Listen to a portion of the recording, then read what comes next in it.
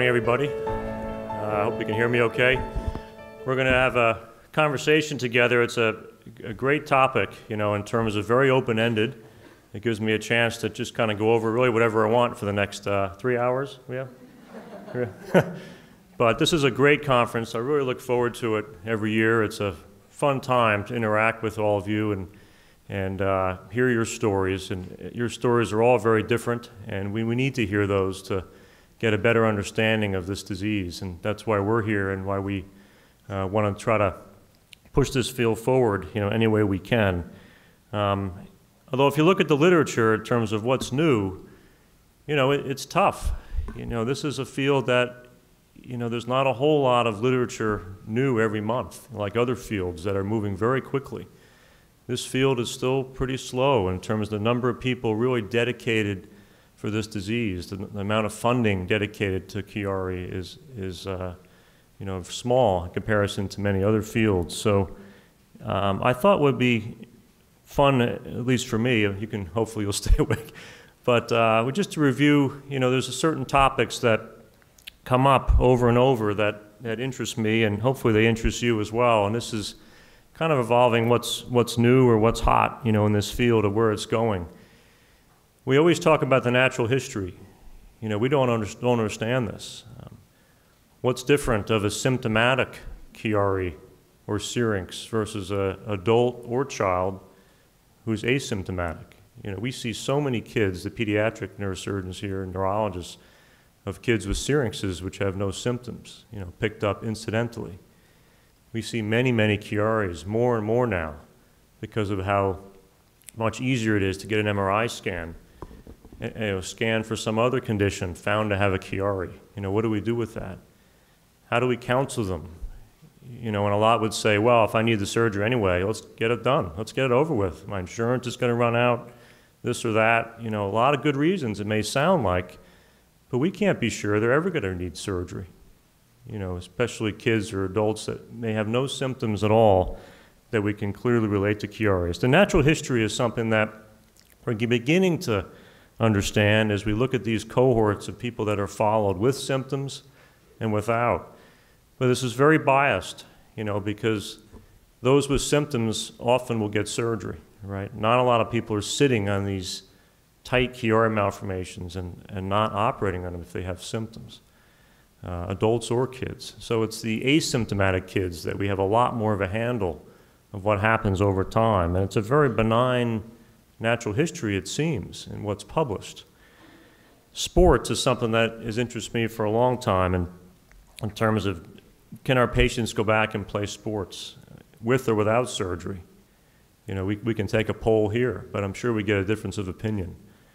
Um, cognitive effects, you know, this is a topic that's, I, I, think, fascinating in that we see these patients with a lot of cognitive symptoms. And anatomically, how do we account for that? Memory loss in a Chiari patient. You know, how do you develop memory loss? Um, reaction times, uh, motor executive function, all these different functions that we're so good in a concussion, you know, we talk about post-concussive symptoms, but in Chiari, it, it's hard to think about these pathways of how something relates of a, the tonsils in the back of the brain, how that relates to memory, and pr providing those links, and are we getting better at that? DTI imaging, you know, this is this diffusion tensor imaging, really fancy, beautiful pictures you can see to look at the white matter tracks in the brain. And just coming online is some of these studies with Chiari that we really had no handle on before. So I think that's fascinating in terms of what's coming. We can't get past this duroplasty versus no duroplasty. You know, do we patch, do we not patch? And do we use ultrasound? And a lot of um, new things there because of the use of intraoperative MRI now with some of these Chiari patients in terms of in the operating room and doing an MRI while they're asleep after the bony decompression to make these decisions to open the dura. You know, a lot of questions come up there in terms of what's the right thing. Um, and sleep apnea. This one bothers me a lot because there's several kids that I've operated on for sleep apnea, you know, in a Chiari some get better, some don't. You know, we don't have a good handle on that. And it's very frustrating when they don't. And it's hard to tell a family up front how much will this improve things, how much won't. And you had a talk on sleep. I'm not going to go too much in detail on that, but this is becoming a hotter topic because we're finally getting some data. You know, we're doing sleep studies before and after Chiari. We involve our sleep experts routinely in these patients. And this is not unique just to Chiari, it's true in the concussion field. And I keep mentioning concussion because I have a lot of parallels from my time in the Air Force that, that come out that, you know, is actually a lot of common links. So we'll go through some of these topics for the next six hours. Six hours now? This might take a little longer than. Um, tonsil position has been a really interesting topic. Uh, Cormac, who couldn't, couldn't be here, there's a big study, over 2,000 patients, where in this Ann Arbor database they've collected, looking back at these MRI scans that are done. You know, these are not symptomatic patients. These are just the normal, say, normal population of people that have got scans. Um, and looking at their tonsil position cerebellar tonsil in the back of the brain. You know, it's fascinating what they, what they find in terms of females have a lower tonsil position than males. Theoretically, you'd pick up Chiari malformations more commonly than in women, right? Just statistically, because their tonsils are lower. If you look at a population of 2,000 people, I mean, that's a fascinating fact that just we haven't really thought about before. The right tonsil is lower than the left. Well, who cares about that? We have no idea what that means.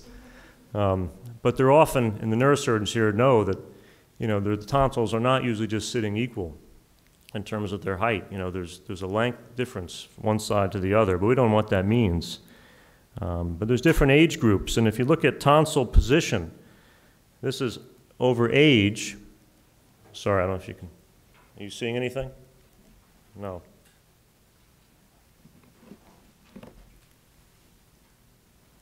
Sorry. Do you see anything there? I don't see it. Sorry. well, this is looking over age, and you can, as you go up in age, you know, the tonsils will go lower and lower. You can see this dip, which happens at a pretty young age, and this is what we know in that between the age of one and five, say, these tonsils actually can go up, meaning up toward normal. And we see Chiari's reverse at that young age, particularly asymptomatic kids. I think that's the key fact asymptomatic. These kids will reverse and their tonsils will, will go up versus then older, you're going to just, they get lower and lower. And again, women lower than, than men. But these fascinating natural history or studies over time looking at age, I think are really, really interesting and something we should pay attention to, again, to help with our definition of, of what is this disease and how we're going to define it because of what's so common in the population. On to sports. You know, so this was a common scenario that I faced in the Air Force. This was an F 16 pilot. They can't stand getting MRI scans because it's going to show something they don't expect that could knock them out of being a pilot, right? So this, this uh, flyer had just some radicular pain in the C6 distribution down his arm, thought to have a disc. Well, it didn't show a cervical disc, it showed a pretty impressive Chiari malformation. So now what? Well, his, by the time he saw me, of course, his disc symptoms got better. He no longer had arm pain, which is pretty classic of this story. But he has a very tight Chiari. So who's going to let this flyer eject out of an F 16 with this? Well, uh, you know, it's a no brainer, right? Of course not. Well, it becomes more complicated than that when the Department of Defense comes after you saying, You got to be kidding. You're going to take this ace flyer out of the field, he's asymptomatic. What's the data show? Well, we have no data. And this is where we really had a problem that we wrestled with what's, what's the right answer. Of course, I'm worried they're going to come after me because their plane just went down, you know, how many billions of dollars. But we've got to protect the flyer. And there clearly could be a risk, right, of this gentleman ejecting from an F 16 but it's no different in sports, you know, and how are we going to handle that? There's lots of considerations of, you know, is a Chiari a true contraindication to sports? It matter if they have symptoms or not? You know, and I would say it, it does. You know, clearly if they're symptomatic before, we're not going to let them go back and at that point and play sports. You may after surgery. Um, if they have a syrinx, I'm more worried, right? Even more concerned that a ding or something on the contact sport could make them much higher risk for a problem. Just like a child with hydrocephalus with a concussion. I mean, there's, there's a vulnerability there based on what they have that ups the ante. Is there data for this? We'll, we'll know. Um, but there's, there's some papers coming out. This is the most recent. And all these papers are within the last year, which I'm highlighting. And what is the risk to the athlete for catastrophic injuries? Well, these are pretty serious injuries we're talking about death, paralysis. And in 150, almost 150 athletes they looked at, some contact sports, some not, 0% had a catastrophic injury. So it's probably pretty low. Is this enough data to say, well, get, get everyone back into sports? Well, no. We're still going to be worried and have to address this on a case by case basis. But this kind of work excites me. At least we're starting to talk about this and get this out there that, at least for a kid, you know, can we get them back to sports? You know, my goal is to try to get these kids to lead as normal life as we can. You know, I really want to get them back into what they love to do. But is it contact football, rugby, ice hockey, boxing? You know, that, that's the real question. And they're going to come to you with these, these questions as they do every day now. But this is a neat study that, that is coming along. Cognitive effects is, is also fascinating. This Mark Luciano and his group um, had a really interesting paper looking at uh, reaction time, working memory, and we didn't used to talk about this, you know, but this is something that now prospectively, before and after surgery, we can look at some of these cognitive effects of Chiari and how complicated this disease is. And the big question, of course, is does it relate to structure? Is there something on the picture that will show you something that you, know, you can predict this patient will have problems in certain areas? And it's coming. You know, we're starting to at least gather the data that we didn't used to before. But these kind of papers, I think, are critical to look at what's the comorbidity of this disease and before surgery, after surgery. We can't change the bias of who got operated on. That, that varies all over the, the world. But if we have a better handle on maybe who gets better and what gets better, I think we can do better on how we counsel patients uh, for surgery.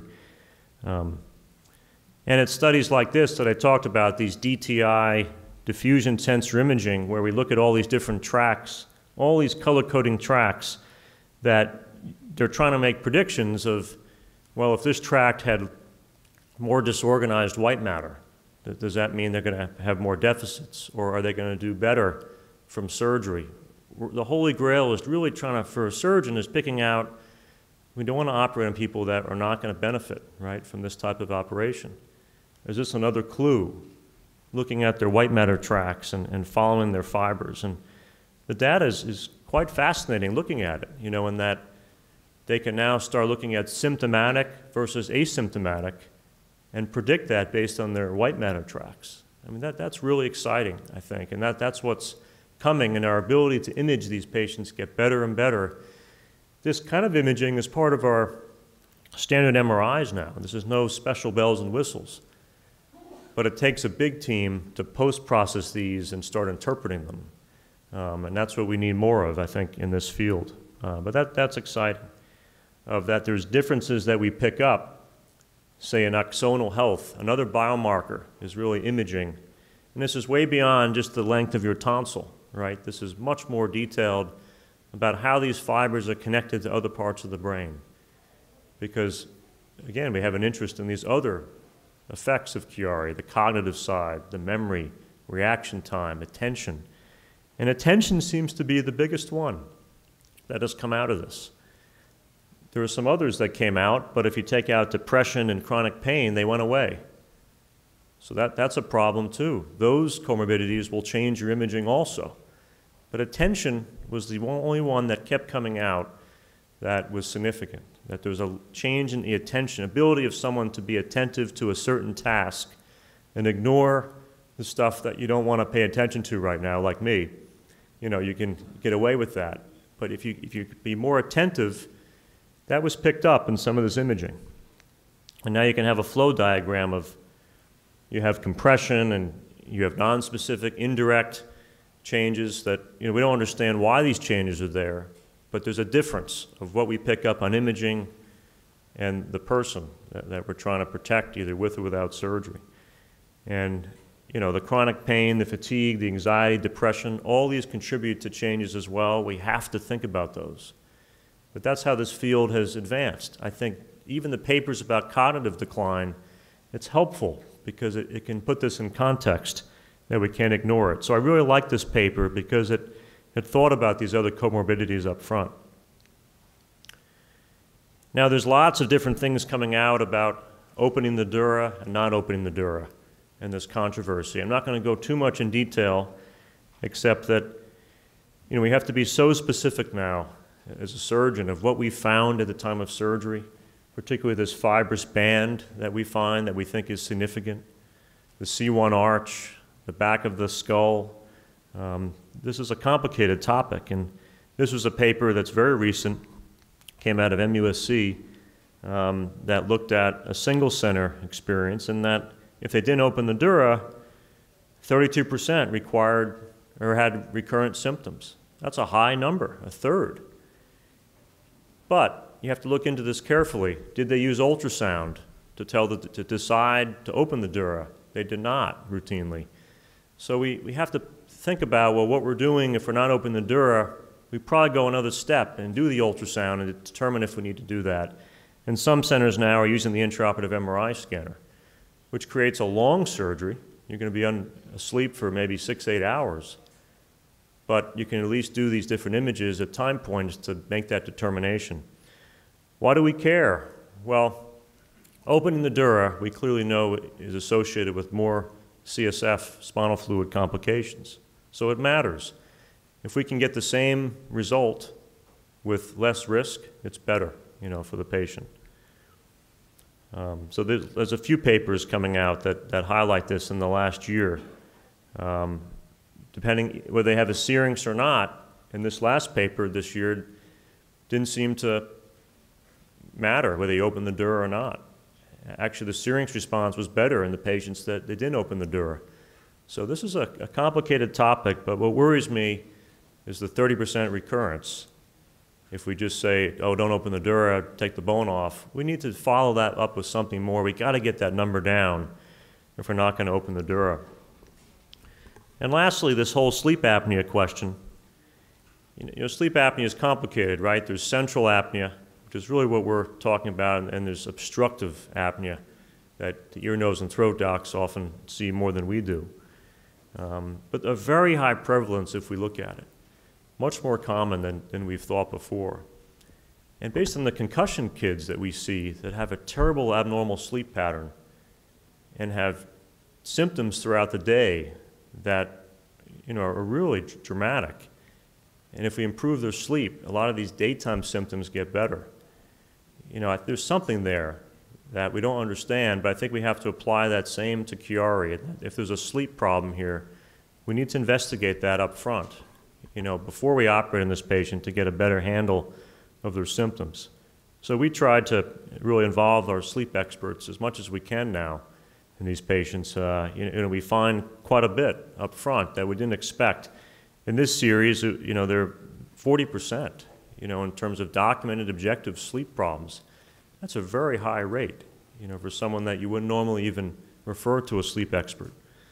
I think what's interesting is if you look in the literature, there's improvement with Diamox. But this is in the sleep literature. This is not the Chiari literature. We talk about Diamox a lot with pseudotumor and CSF production. Diamox also can improve the apnea, you know, for sleep patients.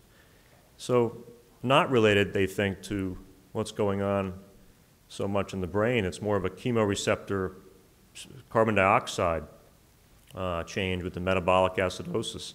So there's parallels here. I think we can really learn from these sleep experts, and we need to involve them in this meeting. And the most recent paper this year is some MRI findings that are trying to look at, again, imaging to pinpoint what is unique about that imaging in the kids or adults um, that have sleep apnea, central sleep apnea. And that would be, be great to try to pick that up, you know, in advance.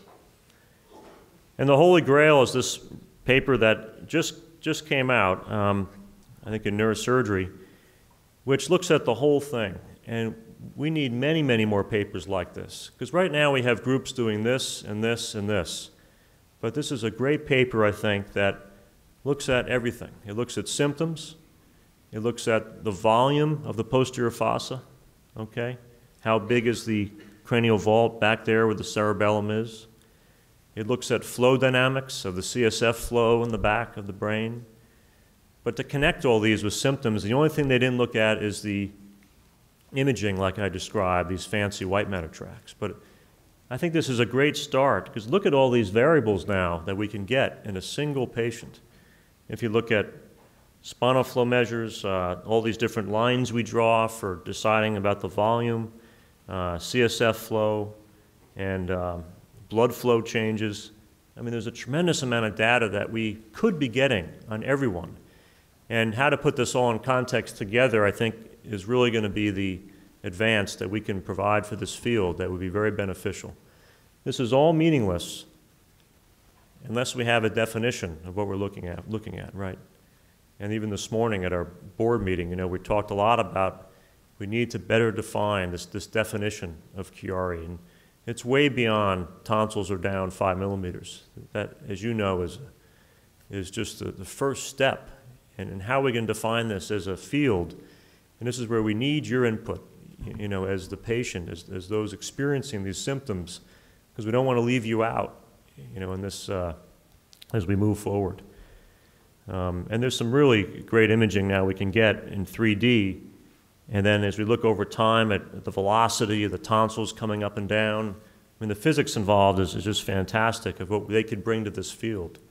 Um, so think about all the specialists we need that we've talked about, you know, in these papers. You know, sports trainers, headache specialists, sleep experts, neuropsychologists with all the cognitive symptoms, phys- physicists, MR specialists, and neuroradiologists. This is a very complicated field.